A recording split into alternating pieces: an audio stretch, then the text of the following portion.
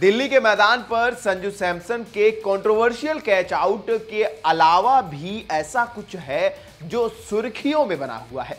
यहाँ तक कि उस व्यक्ति को सामने आकर इस मामले की सफ़ाई भी देनी पड़ी है। नमस्कार, मेरा नाम है अंकित मिश्रा और आप देख रहे हैं One India Hindi. Delhi Capitals और राजस्थान रॉयल्स के बीच मुकाबले में अपनी टीम को सपोर्ट करना एक टीम के को ओनर को भारी पड़ रहा है।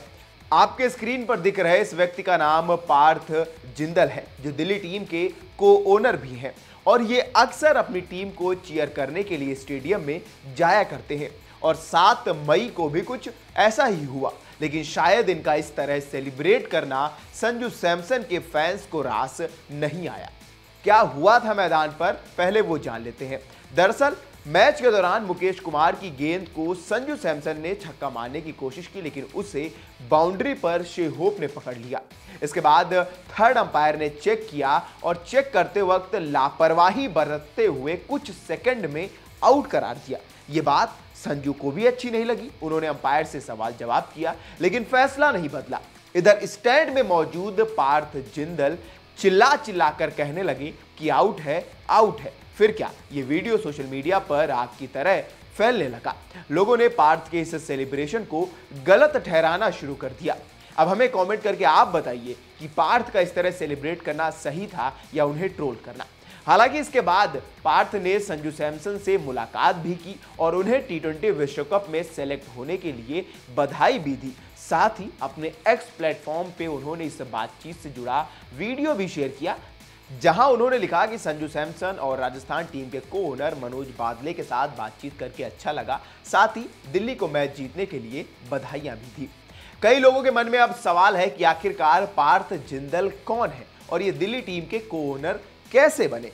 दरअसल, जिंदल फैमिली में जन्मे पार्थ को ये बिज़नेस विरासत में मिला है। लेकिन इसके लिए भी उन्होंने काफ़ी मेहनत की है। उन्होंने ब्राउन यूनिवर्सिटी और हार्वर्ड यूनिवर्सिटी से अपनी पढ़ाई की है। पार्थ ने शुरुआत में जेएसडब्ल्यू ग्रुप को बतौर इकोनॉमिक एनालिस्ट के रूप में ज्वाइन किया था। इसके बाद कुछ वक्त बाद उन्हें जेएसडब्ल्यू सीमेंट्स और जेएसडब्ल्यू पेंट्स के मैनेजिंग डायरेक्टर का पद दिया गया। इसके अलावा जेएसडब्ल्यू स्पोर्ट्स के भी वो डायरेक्टर हैं।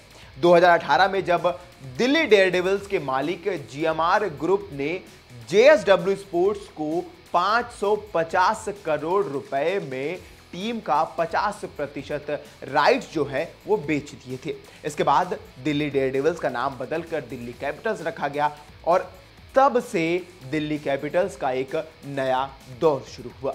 इसके अलावा आईएसएल यानी कि इंडियन सुपर लीग में बेंगलुरु एफसी और प्रो कबड्डी लीग में हरियाणा स्टीलर्स भी जेएसडब्ल्यू स्पोर्ट्स ग्रुप ही ओन करता है। पार्थ जिंदल इस वक्त 600 करोड़ के मालिक हैं, साथ ही स्पोर्ट्स में उनकी बेहद रुचि भी है। इसीलिए कई बार हमने उन्हें स्टेडियम में एनिमेटेड वे में सेलिब्रेट करते देखा है। अब आप हमें कमेंट करके बताइए कि पार्थ जिंदल को अपनी टीम को सपोर्ट करना गलत था या नहीं। तब तक के लिए बने रहिए वन इंडिया हिंदी के साथ।